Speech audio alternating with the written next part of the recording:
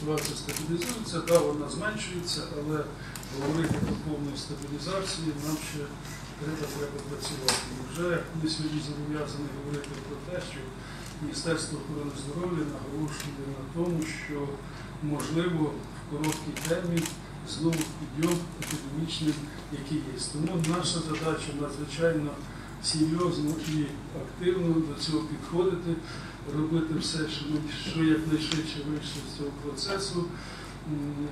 І маю на увазі і по кількості е, виявлених пацієнтів, і по кількості госпіталізованих, і по кількості тих наслідків, які ми маємо. Ну, ви бачите, все-таки ця крива вона сьогодні на цих слайдах десь чуть-чуть, якби вроді такого підйому немає різкого, але вона залишається кількість захворівши висока. Ще